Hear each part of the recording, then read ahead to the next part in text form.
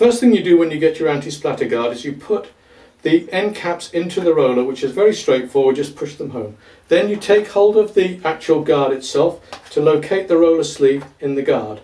Locate that end like so, then you just peel that back and pop that one home. Now the, the roller is actually ready to go. To take it out for cleaning is just the reverse. The handle can be mounted in uh, two ways really.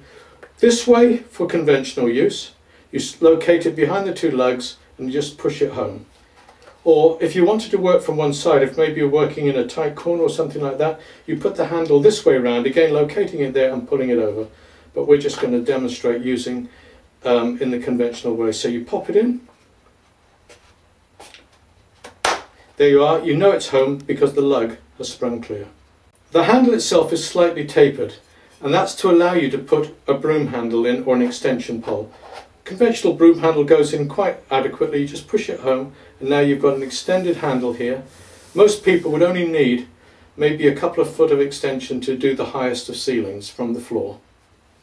A useful feature of the anti-splatter guard are these two spindle mounts here, one on each end.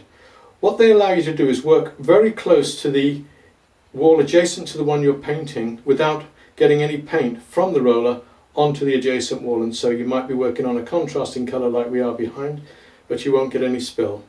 All you need to do is just make sure you don't have any paint around here when you've taken it out of the roller tray.